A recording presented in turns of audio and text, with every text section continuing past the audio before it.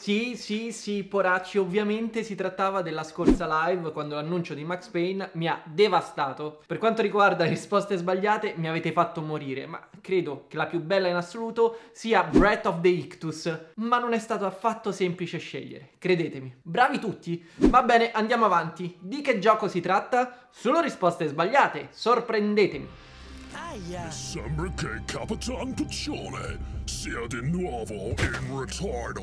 Beh, scusi, signor Skimpton, è che non sono stato molto bene. Presto ti sentirai ancora peggio. Poracci, bentornati o benvenuti sul mio canale, l'unico di YouTube Italia dove si parla di videogiochi a tutte le fasce di età. Oggi parleremo di Kirby e la Terra Perduta, in quella che vuole essere un po' un'analisi critica, un po' una recensione in ritardissimo. Sapete come funziona da queste parti. Ho trovato molto interessante il dibattito che si è alzato intorno al gioco, una discussione che ha portato gran parte della critica e del pubblico a bollare il titolo come per bambini e quindi non adatto ai gamer più esperti. La percezione generale è che questo Kirby e la Terra Perduta sia sì un buon titolo, ma che abbia veramente poco da dire a chi è in cerca di una vera sfida. E ora, dopo più di una ventina di ore passate intorno al titolo, completandolo praticamente al 100%, mi sono fatto un'idea molto più chiara al riguardo e voglio raccontarvi cosa penso al riguardo del primo platform in 3D della palla rosa, per cercare anche di capire quanto la difficoltà sia un criterio assoluto da tenere in considerazione quando si valuta un videogioco. Prima di iniziare come al solito vi invito ad attivare la modalità brezza e a mettervi in marcia verso la conquista non violenta di internet.com e la fondazione del Poro Verso. Lasciate un like, iscrivetevi attivando la campanella delle notifiche e seguitemi ovunque, anche sul sito Viola e su Instagram e dove vi pare. Trovate tutti i link in descrizione. Bene, ho detto tutto, iniziamo!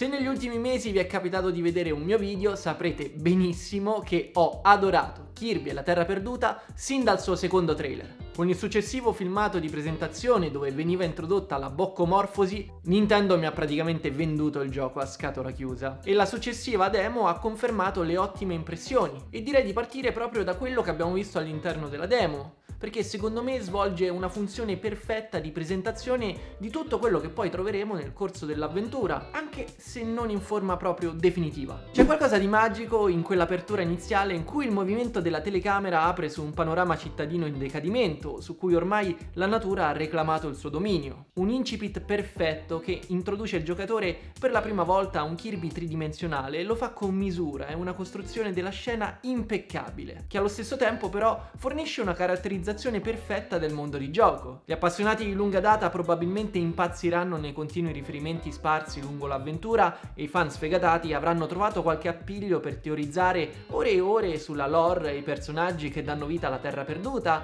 ma non credo che questo sia uno degli elementi fondamentali dell'operazione, o quantomeno un aspetto che gran parte dei giocatori terrà in considerazione. C'è da dire però che nonostante l'assenza di qualsiasi dialogo parlato o di esposizione esplicita della trama, a permeare il fondo della storia c'è chiaramente una narrativa silenziosa che attraversa tutto lo svolgimento del titolo per esplodere poi in una fase finale che riesce non solo a giustificare tutto il setting del gioco, ma introduce anche l'ormai prevedibile svolta matura e incredibilmente dark che caratterizza il corso moderno dei titoli di Kirby. Quella stessa attenzione che abbiamo notato in apertura in realtà permea tutto quanto il gioco, e si traduce in una direzione artistica fuori parametro, che regala degli scorci meravigliosi in bilico sempre tra natura incontaminata e civiltà in decadimento. Le ambientazioni dei mondi principali di gioco, sebbene non si discostino dagli standard classici che siamo ormai abituati a vedere nei videogiochi, c'è la zona tropicale, il parco giochi, il deserto, l'area annevata, eccetera, eccetera, spiccano grazie a una caratterizzazione perfetta che vive di contrasti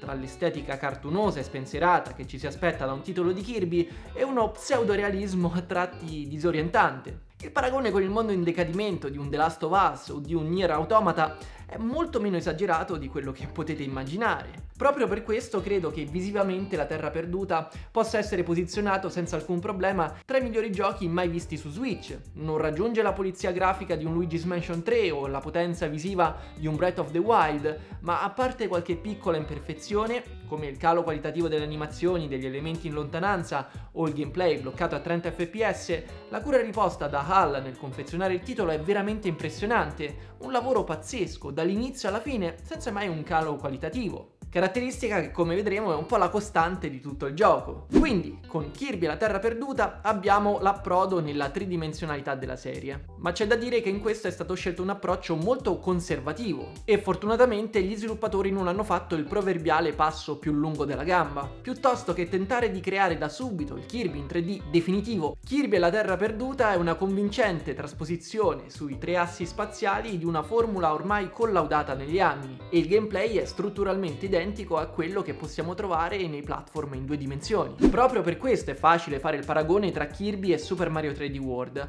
perché ci troviamo di fronte a un ipotetico punto di contatto tra due scuole di design molto differenti tra di loro. Il debito più grande nei confronti dell'idraulico italiano risiede nel level design. Ogni livello è una sorta di piccolo diorama che si può attraversare e completare in pochi minuti, ma che allo stesso tempo richiede al giocatore di esplorare ogni angolo per scovare i vari collezionabili. L'idea della struttura missioni missioni è vincente e aggiunge un grado di complessità non banale all'esperienza complessiva, tanto da costringere i completisti a rigiocare gli stage per finire gli obiettivi che verranno scovati mano a mano. Ecco, questo è un punto centrale della Terra Perduta. Si tratta di un gioco difficile? No, almeno fino alle fasi finali. Kirby la Terra Perduta è un gioco impegnativo che nasconde una complessità da non sottovalutare. Badate bene, la complessità non si traduce in una difficoltà pratica nell'eseguire alcuni comandi o nel decifrare degli enigmi, quanto piuttosto a una continua evoluzione delle situazioni ludiche che impedisce di subire passivamente il ritmo del gioco. Questo Kirby è stimolante e offre un gameplay che si arricchisce progressivamente senza mai un punto morto, in una curva di apprendimento omogenea e rilassata che non dà spazio mai alla frustrazione. Non so, forse è un concetto difficile da spiegare, ma in questo ci viene in aiuto la demo. Il primo mondo è un'ottima introduzione all'avventura perché introduce il giocatore a tutte le principali meccaniche di gioco senza però strafare, dando così tutto il tempo di entrare in confidenza con il ritmo del gameplay. Molti di quelli che definiscono Kirby eccessivamente facile o per bambini probabilmente si sono fermati qui o forse non hanno neanche giocato la demo, ma questo è un altro discorso. E non hanno tutti i torti. È praticamente impossibile trovarsi in serie difficoltà in questi livelli, figuriamoci rimanere bloccati. Però anche in questa semplicità si intravedono già delle soluzioni creative non necessarie, tutt'altro che complicate, ma comunque complesse nella loro costruzione. Prendete quel puzzle di movimento che ci porta a girare attorno a un tartarugone gigante per scalarne il dorso e sconfiggerlo. Nello stesso livello abbiamo già preso confidenza con il Morfocono e con questo tipo di nemici e piuttosto che farci combattere con una versione potenziata ma sostanzialmente identica degli stessi avversari, i designer hanno messo in piedi una sequenza adorevole, non saprei come altro definirla. E questo è solo l'inizio perché dal secondo mondo in poi le situazioni si moltiplicano tenendo sempre alto il livello del divertimento, non lasciando però, come abbiamo già detto, mai spazio alla frustrazione. C'è tantissimo di Super Mario 3D World, ma in realtà il titolo si discosta anche da questa produzione. A parte forse una o due eccezioni, mancano le sezioni più ampio respiro di 3D World e il level design non esplode mai nel sadismo dei livelli post-game visti nel platform dell'idraulico. Allo stesso tempo però Kirby prende a piene mani dalla tradizione Nintendo e ci sono innumerevoli citazioni a capolavori del passato. C'è tanto ad esempio di Galaxy 2, di Odyssey e anche di Sunshine. La trovata della boccomorfosi permette di allontanarsi dai canoni della serie per addentrarsi in territori inesplorati, rimanendo però coerenti con le premesse del personaggio. Sebbene si tratti di trovate contestuali, è comunque apprezzabile lo sforzo fatto per giustificare la ripetizione di sequenze che richiedono il riutilizzo degli stessi poteri. Le vie del tesoro in particolare mi ricordano tanto Sunshine e i suoi livelli sfida, ma qui sono confezionati decisamente meglio. Si tratta di sfide contro il tempo incentrate di volta in volta su un potere specifico di Kirby, che una volta portate a termine consentiranno di ottenere degli oggetti utili per gli upgrade delle abilità copia. Possiamo definirli come livelli opzionali, già più impegnativi dei livelli principali, ma non di certo impossibili, che però svolgono una funzione da non sottovalutare. Non so se avete notato, ma in Kirby e la Terra Perduta ci sono pochissimi tutorial e gran parte del moveset, tanto dei poteri quanto delle manovre evasive a disposizione del protagonista, non sono mai spiegati al giocatore. Sta all'utente scoprire molte delle meccaniche avanzate, in parte completando le vie del tesoro, in parte sperimentando. Un po' strano come approccio per un gioco per bambini, no? Questa è probabilmente la cosa che più mi ha sorpreso di tutto quanto il gioco, ovvero la malleabilità del suo combat system. E no, non pensavo lo avrei mai detto in un gioco di Kirby. Chiariamoci, è possibile finire il gioco senza alcun problema e non utilizzando mai la schivata e il contrattacco, ma una volta arrivati nel postgame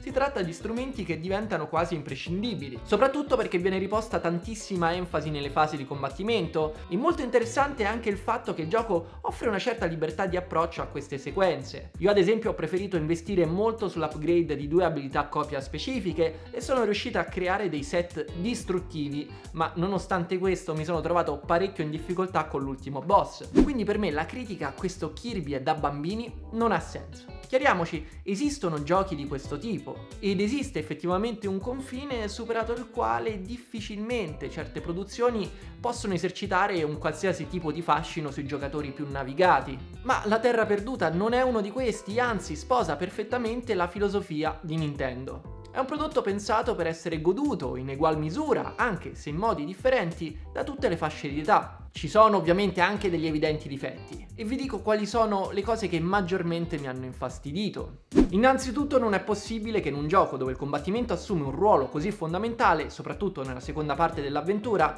ci sia un tale riciclo di boss e mini boss, Alcune boss rush sono a un passo dall'essere insostenibili e in questo avrebbe giovato enormemente una maggiore varietà di nemici, anche solo delle varianti cromatiche, dei pattern alternativi, qualcosa insomma in grado di alleviare l'inevitabile ripetitività di queste sezioni. E poi, sebbene credo che il gioco sia ricco di contenuti e con una buona progressione che spinge in maniera naturale al completismo, ho trovato nettamente sproporzionata la ricompensa ottenuta per portare a termine i compiti più complessi. Nel momento in cui il gioco mi mette di fronte alla sfida opzionale di tempi complicati da battere nelle vie del tesoro, molte delle quali mi hanno messo in difficoltà, non si può essere premiati con semplici 50 monete, una ricompensa ridicola, e non si tratta neanche di tempi da battere per arrivare alla massima percentuale di completamento. Insomma, non c'è un vero incentivo ad affrontare alcune tra le sfide più difficili del gioco, che sì, sono presenti, ma è come se non ci fossero.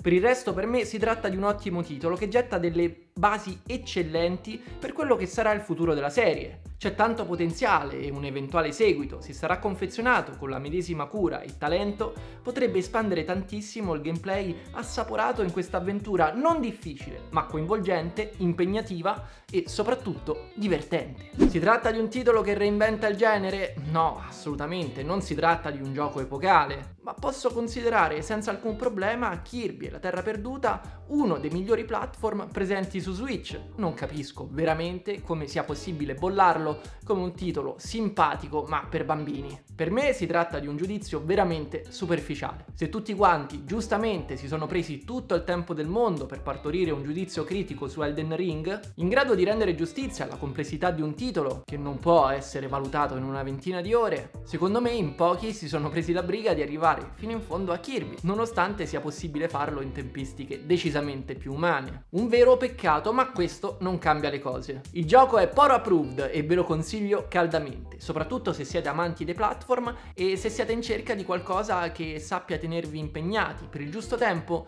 senza risultare mai frustrante. Tranne per quel cacchio di minigioco del labirinto. Quello proprio no altro che Elden Ring. E questo poracci era tutto per oggi, vi ringrazio per essere arrivati fino in fondo e spero che questa recensione in ritardissimo vi sia tornata comunque utile. Vi aspetto nei commenti per sapere se avete finito Kirby la Terra Perduta, se il vostro giudizio intorno al titolo è cambiato nel corso del tempo e niente, io ho finito ufficialmente la voce, quindi perfetto. Mi raccomando, ci vediamo lunedì prossimo, voi riposatevi, fate i bravi, ma soprattutto nerdate duro. Io sono il Poro Voce, Michele Perduta, Ciao! Ehi ehi ehi, fermo! Se questo tipo di video ti piace, prendi in considerazione l'idea di supportarmi sul Poreon, il Patreon dei poracci. Con un piccolo contributo mensile mi puoi aiutare enormemente a portare avanti i contenuti qua sul canale e in cambio ricevi anche delle ricompense di tutto rispetto, come retroscena, anteprime e anche live esclusive dove andremo a caccia di retro game. Ti lascio il link in descrizione e ricordati che poracci si diventa.